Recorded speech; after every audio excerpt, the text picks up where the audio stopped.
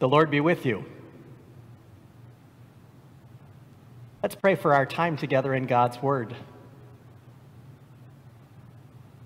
O oh God, by the passion of your blessed Son, you made an instrument of shameful death to be for us the means of life. Grant us so to glory in the cross of Christ, that we may gladly suffer shame and loss for the sake of your Son, Jesus Christ, our Savior and Lord, who lives and reigns with you in the Holy Spirit, one God, now and forever. Amen. A reading from Genesis. When Abram was 99 years old, the Lord appeared to Abram and said to him, I am God Almighty. Walk before me and be blameless, and I will make my covenant between me and you, and will make you exceedingly numerous. Then Abram fell on his face, and God said to him, As for me, this is my covenant with you you shall be the ancestor of a multitude of nations. No longer shall your name be Abram, but your name shall be Abraham, for I have made you the ancestor of a multitude of nations. I will make you exceedingly fruitful, and I will make nations of you, and kings shall come from you. I will establish my covenant, covenant between me and you, and your offspring after you throughout their generations for an everlasting covenant, to be God to you and to your offspring after you.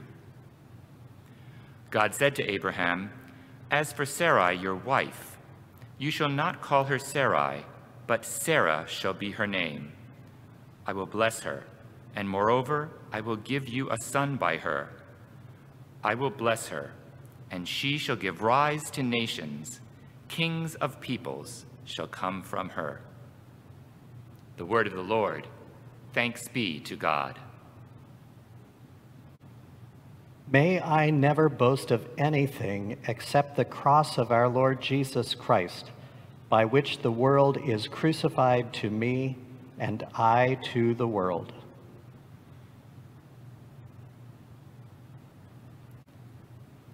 The Holy Gospel according to Mark. Glory to you, O Lord.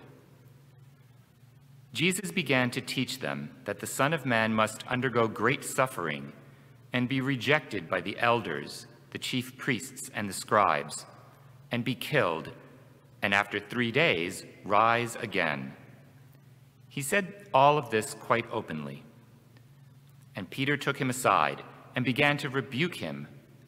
But turning and looking at his disciples, he rebuked Peter and said, Get behind me, Satan for you are setting your mind not on divine things, but on human things. He called the crowd with his disciples and said to them, If any want to become my followers, let them deny themselves and take up their cross and follow me. For those who want to save their life will lose it, and those who lose their life for my sake and for the sake of the gospel will save it. For what will it profit them to gain the whole world and forfeit their life? Indeed, what can they give in return for their life? Those who are ashamed of me and of my words in this adulterous and sinful generation, of them the Son of Man will also be ashamed when he comes in the glory of his Father with the holy angels. The Gospel of the Lord. Praise to you, O Christ.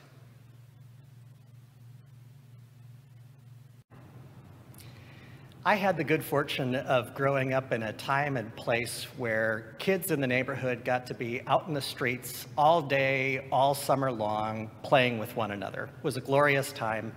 I'm sad that my boys don't get to experience that same kind of season of carefree living and playing. I remember one evening when the streetlights came on and my brother and I were headed back into the house for dinner one of our neighborhood buddies came up behind my younger brother and pantsed him.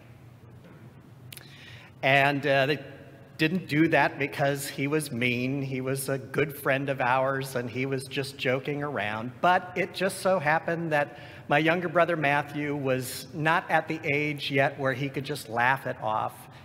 Uh, he really had his feelings hurt by that, and he was very much embarrassed.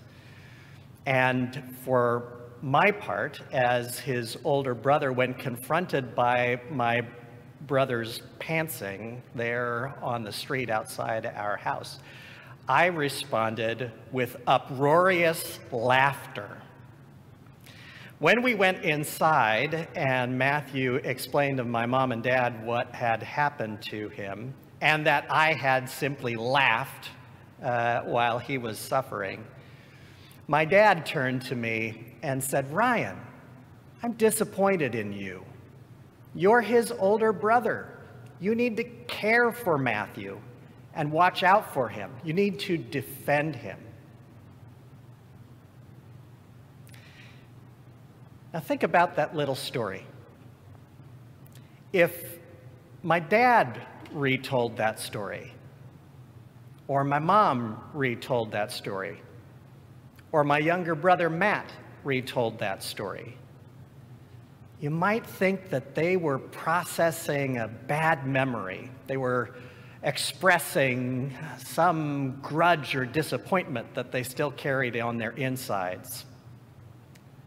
But when I tell that story, and I tell it to my own boys so that they can learn from my little mistake and hopefully treat one another better than I treated my brother in that moment, well, the story takes on a different feel.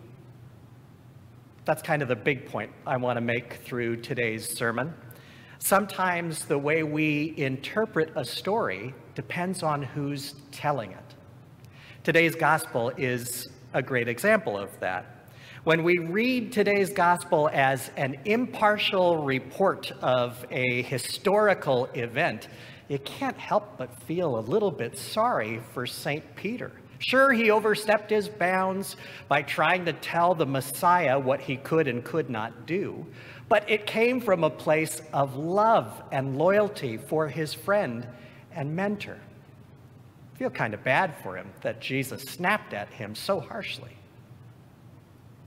The way we feel about the story and our interpretation of it both may change a little bit, however, when we learn the church's story behind this story. More specifically, the story of who is telling this story.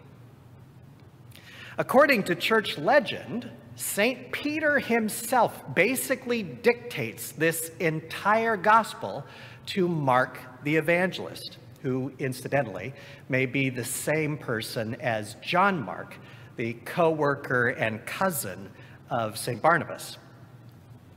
If that were the case, if St. Peter were retelling this story, then the story of our Lord Jesus snapping at St. Peter as his personal Satan, along with all the other Markan stories that depict St. Peter in a very unflattering light, would maybe feel a little less like an unfair criticism of the man and a little more like faithful vulnerability by the man.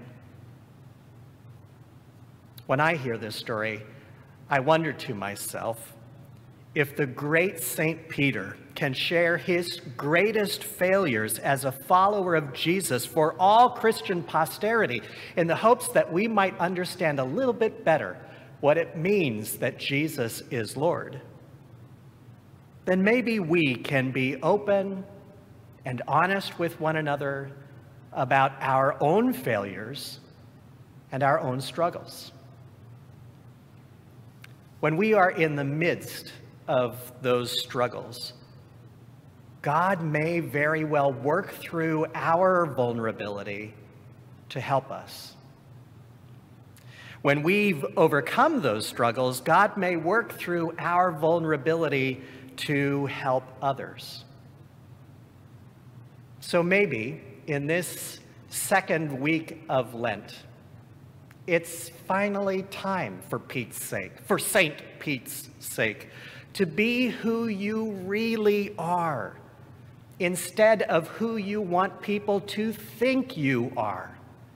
Maybe it's time to tell stories not stories that build you up in front of others, but stories that share where you have fallen down so that you can testify to God's goodness in raising you up and that so that someone else can learn from your mistakes. May that happen for you this week, my friends, in the spirit of Jesus. Amen. I believe in God the Father Almighty, creator of heaven and earth. I believe in Jesus Christ, God's only Son, our Lord, who was conceived by the Holy Spirit, born of the Virgin Mary, suffered under Pontius Pilate, was crucified, died, and was buried. He descended to the dead. On the third day he rose again. He ascended into heaven he is seated at the right hand of the Father, and he will come to judge the living and the dead.